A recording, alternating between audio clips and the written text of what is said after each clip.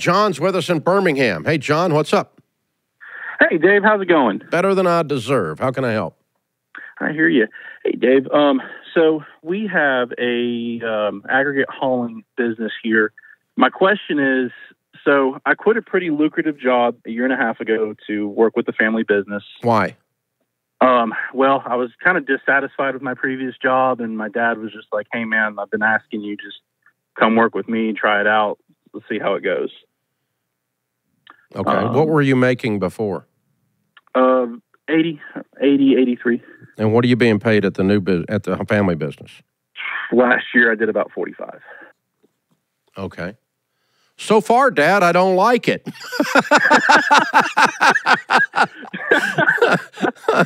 Oh man. oh, this is why I came to you, sir. well, you signed up for it, but good God, man. Oh, I know. Know. Now, quality of life. I say, you know, I come home in a better mood, even though I'm working longer hours. But uh, I'm I'm sure my my my plight is obvious here. Okay, so what you, you said you do a little bit of everything, but what does your day consist of? Tell me some of the the three main things you spend your time on.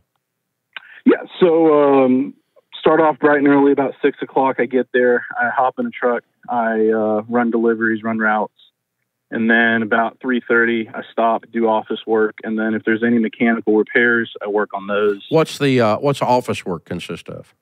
Um, invoicing, running payroll.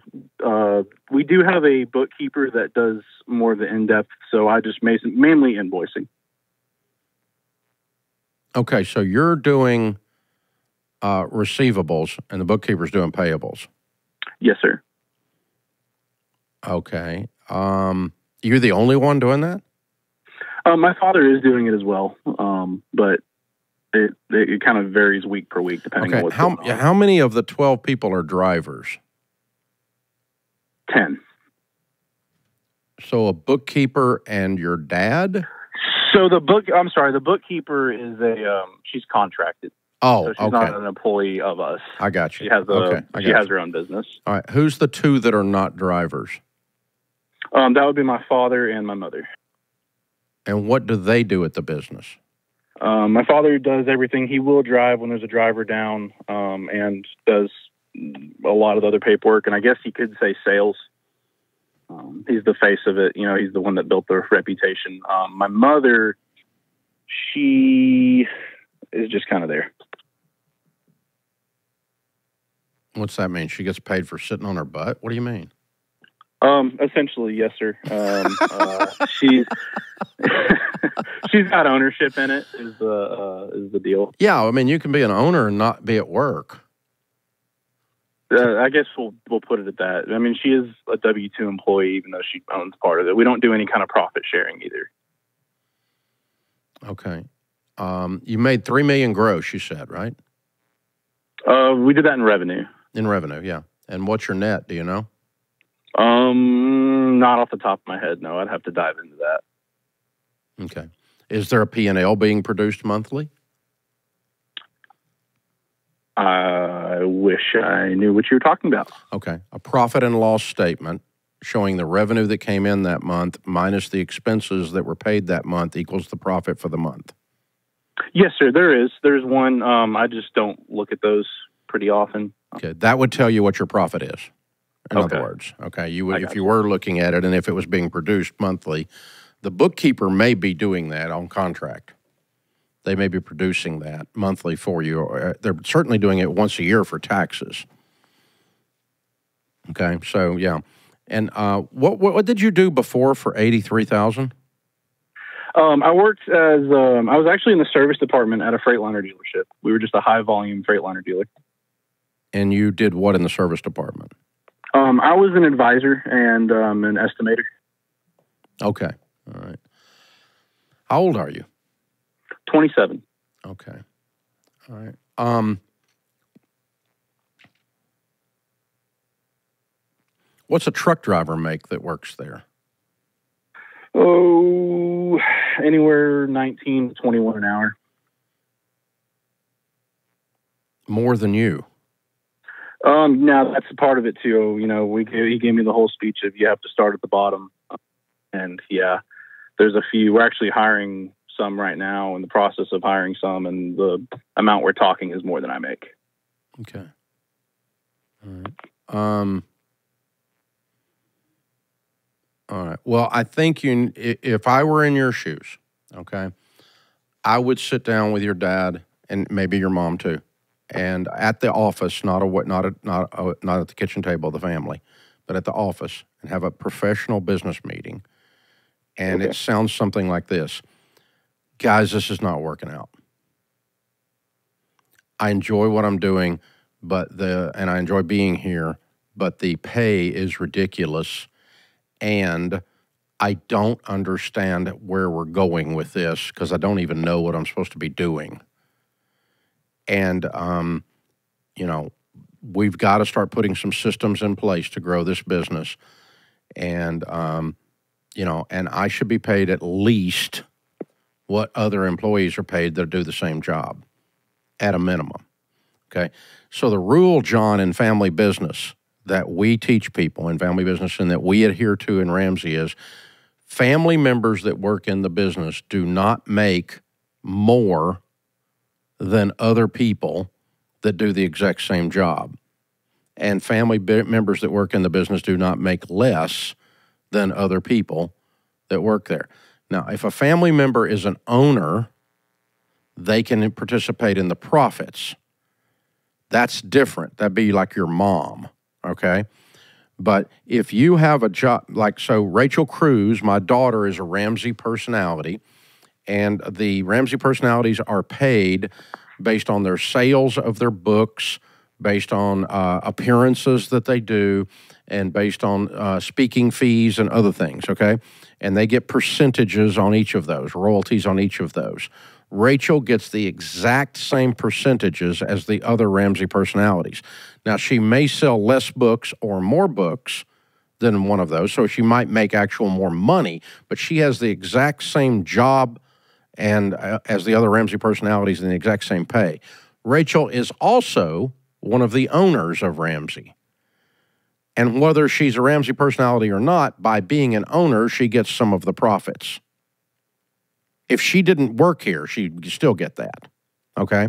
That's you separate ownership from your day job. And at the day job, you should be paid, everyone there, including your dad, including your mom, only what the job pays, not less, not more. And so if your job, and dad and mom, I need you to help me define what my job is, okay? It seems like I'm doing some accounting and some truck driving mainly truck driving. And so when I'm driving the truck, I should be paid at least what truck drivers are being paid. If you're unwilling to do that, then we're going to have to call this and I'm going to have to go get a job. That's what I would do if I were in your shoes. Because I think your dad's making a mistake. I got you. And he, he should clearly define what your job is so we can tell if you're doing it or not if we hold you accountable for competence, okay? And he clearly define what you're doing, what is your job and your job description, okay? Well, we need you to drive truck until 3.30, and then we need you to take care of these accounting functions, uh, the invoicing, okay? And uh, so a part time bookkeeper doing invoicing makes this, and a part time truck driver makes this per hour. And so we're going to put those hourly rates together, and that is your job description and your compensation plan. And that's a professionally run business. And your dad should be doing that. He should do that with everybody in the business, by the way, everybody that works there, including you. And you okay. shouldn't overpay people and you shouldn't underpay people. Now, so the owner's kid doesn't get taken advantage of, and the owner's kid doesn't get a free ride on lack of competence, and the owner's kid doesn't get paid more because he's the owner's kid. He gets paid for the job he does. Now, when you become an owner someday, you can participate in the profits, but only then. Right. Okay. And so I don't know. I think you guys um, had very different pictures in your minds as to where this was going to go and what it was going to look like. And you yeah. are living in your dad's picture, not your picture. That's why you called me.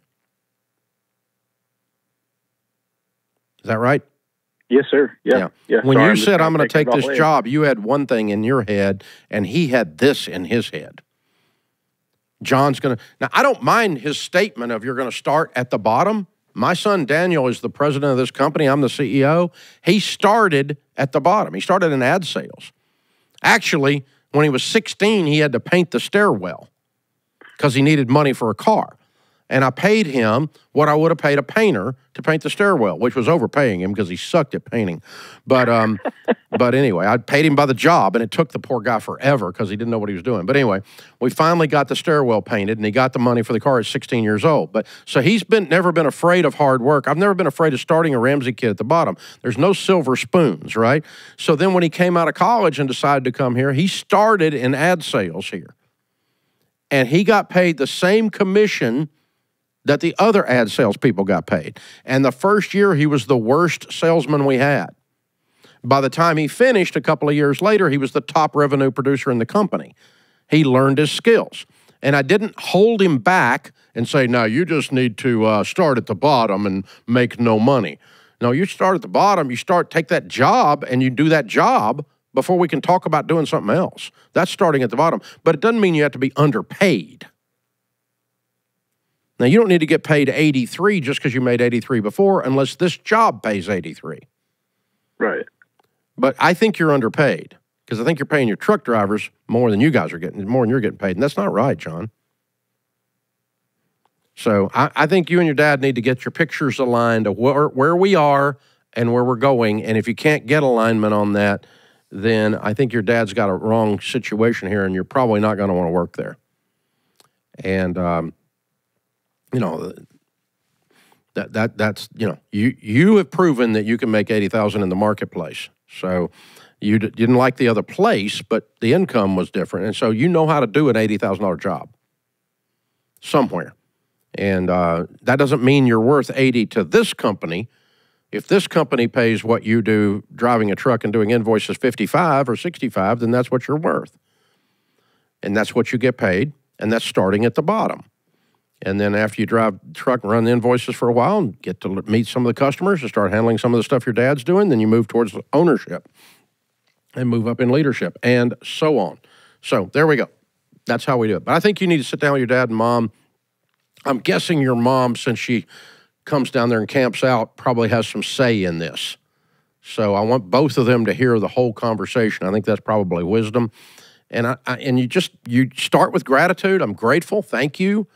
It's been a fun ride, but I started this with one thing in mind. You started it with another in mind, and I'm living your dream, not mine. And making half what I used to make ain't cool. When you're paying the guy next to me doing the same job more money, that's not cool. We're not going there. So there you go. Good question, sir. Good question.